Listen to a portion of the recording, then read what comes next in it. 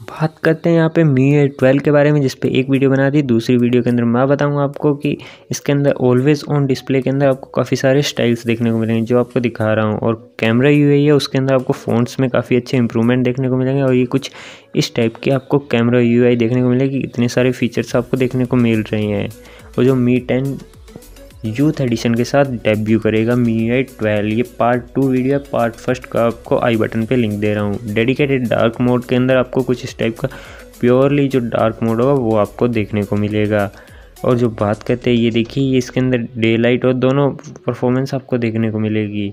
और जो इसके अंदर डार्क मोड के अंदर जो आपको फीचर्स दिख रहे हैं कि आप इसके अंदर कितना ज़्यादा स्टेबिलिटी देखने को मिलेगी, आपको कलर्स के अंदर एक्यूरेसी के अंदर वो देखने को मिलेगी। और जो नोटिफिकेशन सेट है, उसके अंदर काफ़ी सारे इंप्रूवमेंट आ रहे हैं और जो कैमरा यू है, उसके अंदर आपको फ़ोन्स में काफ़ी सारे इंप्रूवमेंट देखने को मिलेंगे।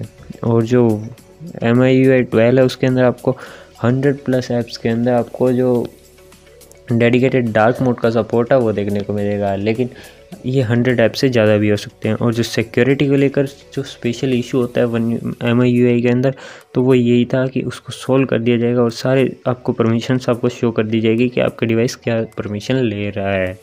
और जो अभी आपको पता होगा कि मी ने एक पेटेंट फ़ाइल किया जिसके अंदर वो पूरे डिस्प्ले पे फिंगरप्रिंट सेंसर के लिए काम कर रहे हैं तो वो भी जल्दी लॉन्च होने के लिए रेडी है। और वो आपको शायद तक मी मी टेन के बाद आपको कोई भी डिवाइस के अंदर देखने को मिल सकता है।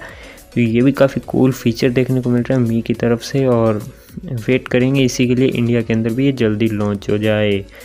और जो ये आपको कुछ प्राइवेसी के लिए जो फीचर्स है, उसकी भी बात कर दी मैंने आपको। पार्ट थ्री के लिए वेट करते हैं।